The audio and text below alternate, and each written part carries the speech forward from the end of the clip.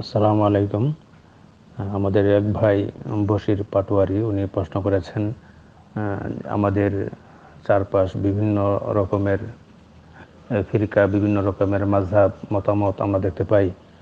সকলেই তাদের মতকে প্রাধান্য দেয়, সকলেই তাদের মতকে বলে, সেটা সত্য, সেটাই হক। এক্ষেত্রে আমাদের করণীয় কি? আমরা কোরআন এবং হাদিস যেটা এসেছে, কোরআন এবং হাদিসে সেটাই অবশ্যই আমরা মানব। বিদায় হজের সময় রাসুল সাল্লাহ সাল্লাম যে ভাষণ প্রদান করেছেন সেই ভাষণের অন্তর্ভুক্ত হলো তারাক তুফিকুম আমরা নিলাম তাদুল্লু মাতা মাসাকুম বিহিমা কিতাব আল্লাহ ও সুন্নাতি।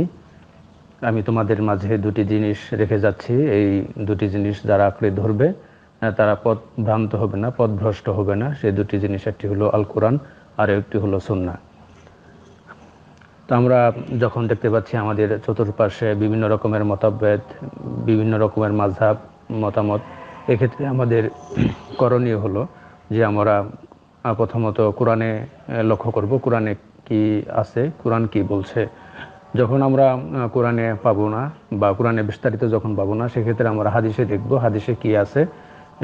আর হাদিস বিষয়টা এখন আমরা দেখতে পাই যে বিভিন্ন রকমের হাদিস থাকে। কিছু দুর্বল, কিছু বানোয়াট, কিছু সহি, হাসান বিভিন্ন রকমের হাদিস। এক্ষেত্রে আমরা লক্ষ্য করব যেগুলো সহি হাদিস সঠিক হাদিস এবং হাসান উত্তম হাদিস যেগুলো, এই হাদিসগুলো আমরা গ্রহণ করব। বিপরীতে যেগুলো দুর্বল হাদিস রয়েছে, সেগুলো আমরা গ্রহণ করব না। পরবর্তীতে যেগুলো ইজমা রয়েছে আলেমগণ এবং সঠিক নিয়ম অনুযায়ী যেগুলো ইজমা রয়েছে, ঐক্যমত রয়েছে আলেমদের, সেগুলো আমরা লক্ষ্য করব, গ্রহণ করব। এবং কিয়াসের বিষয় যেটা কিয়াস যখন কোরআন এবং হাদিস, সে কোনো একটা বিষয় পাওয়া যাবে না বর্তমানে যেগুলো অনেক সময় বিভিন্ন ঘটনা আমরা দেখতে পাই অনেক কিছুই কোরআন বা হাদিসে যখন পাওয়া যায় না, সেক্ষেত্রে আমরা আলেম ওলামা যারা গত হয়েছেন সালফেস আলহীন সাহাবা।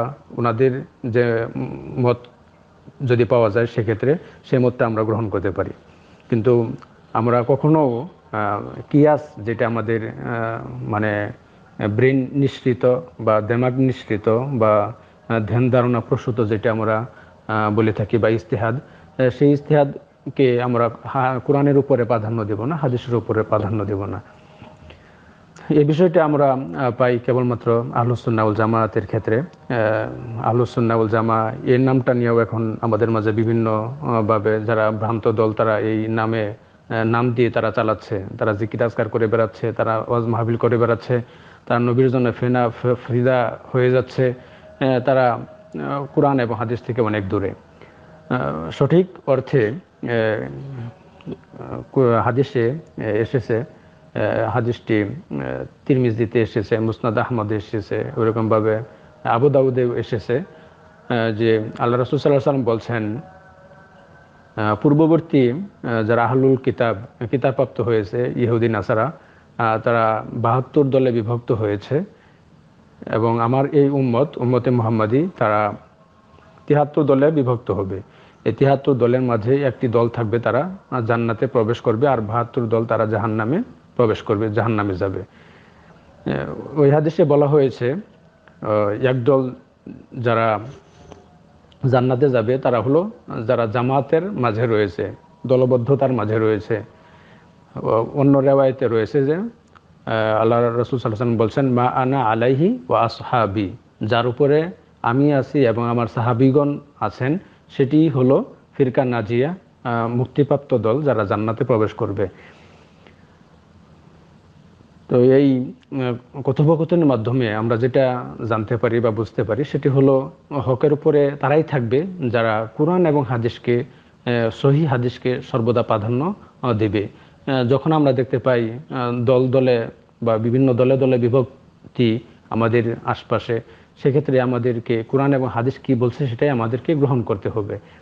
অনেকে বিভিন্ন মাঝহাবের কথা বলে সঠিক হাদিসগুলোকে তারা দূরে দূরে রাখে। সঠিক হাদিসগুলোকে দূরে রাখে। এগুলো কিন্তু আমাদের করা উচিত নয়, ঠিক নয়। কারণ রসুল সাল্লাহ সাল্লামের হাদিস যখন আমাদের মাঝে আসবে এবং সেটা যদি সঠিক সূত্রে আমাদের কাছে পৌঁছে, তখন কারও ক্ষমতা নেই সেই হাদিসটাকে অবজ্ঞা করা, সেই হাদিসটাকে বাদ দিয়ে অন্য কোনো লোকের কথা মানা।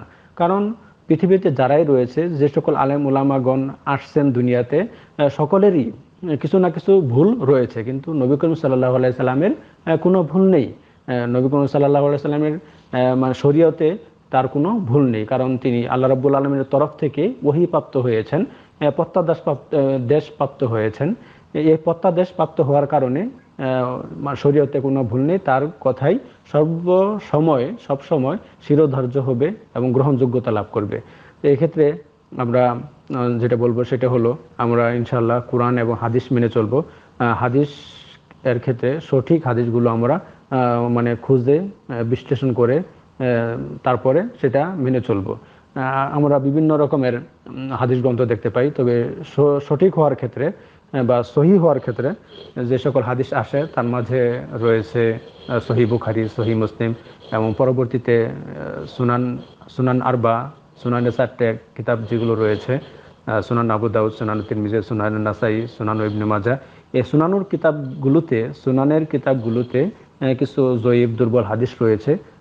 সেগুলো আলেমগণ আলেমগণ ব্যাখ্যা করেছেন।